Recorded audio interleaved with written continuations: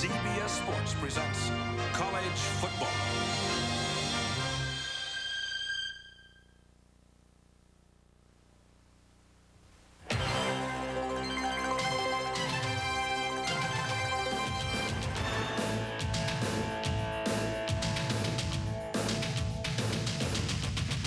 Nebraska football is 100 years old. In its glorious past, we've witnessed legendary coaches, national championships, and Heisman Trophy winners. It's a tradition of winning that only continues through the generations. Nebraska football is also unstoppable tailbacks, elusive quarterbacks. The Cornhuskers are uncompromising, and they are out to commemorate their centennial in style with a third national championship.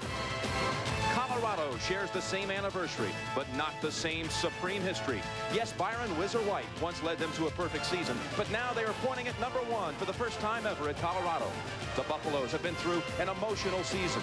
They are focused and explosive, and they have leaped into the national spotlight with an undefeated season. Today, a berth in the Orange Bowl is on the line. It's the Big Eight Battle of the Year, Nebraska and Colorado coming up next.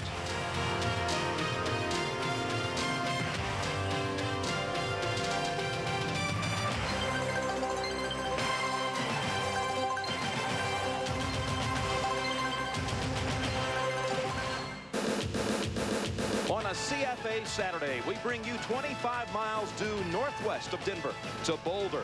Set against the Rocky Mountain Range, this rugged landscape is home to the University of Colorado.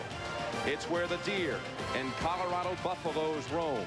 It truly is a Rocky Mountain high, over a mile above sea level. And today there is something special in this rarefied air. It's a football showdown. Third-ranked Nebraska about to collide with second-ranked Colorado.